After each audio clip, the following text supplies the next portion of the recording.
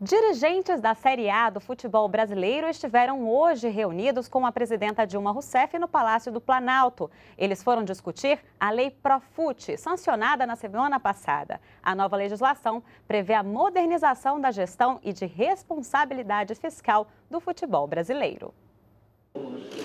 Jogadores e presidentes de clubes de futebol agradeceram à presidenta Dilma Rousseff pela sanção no dia 5 de agosto da Lei do Futebol. Com a medida, os clubes podem fazer o refinanciamento das dívidas com o governo federal. Basta fazer a adesão ao programa de modernização do futebol brasileiro, o Profut.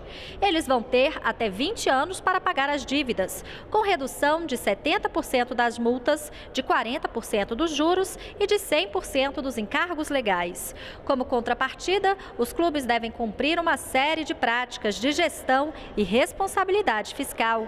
Os clubes se comprometeram a reduzir o déficit para 10% da receita anual a partir de 2017 e 5% a partir de 2019. Os clubes também devem limitar seus gastos com folha de pagamento de atletas a 80% do lucro. Essas contrapartidas vão dar para os times no Brasil a oportunidade de se modernizarem do ponto de vista de gestão, mas também a gente entende que ainda há outras conquistas que vão prosseguir a partir da aprovação hoje dessa lei de responsabilidade fiscal dos clubes. Segundo a presidenta Dilma Rousseff, a legislação é o ponto de partida para um processo de modernização do futebol e vai permitir o saneamento financeiro dos clubes, além de garantir mais transparência e a valorização do futebol brasileiro.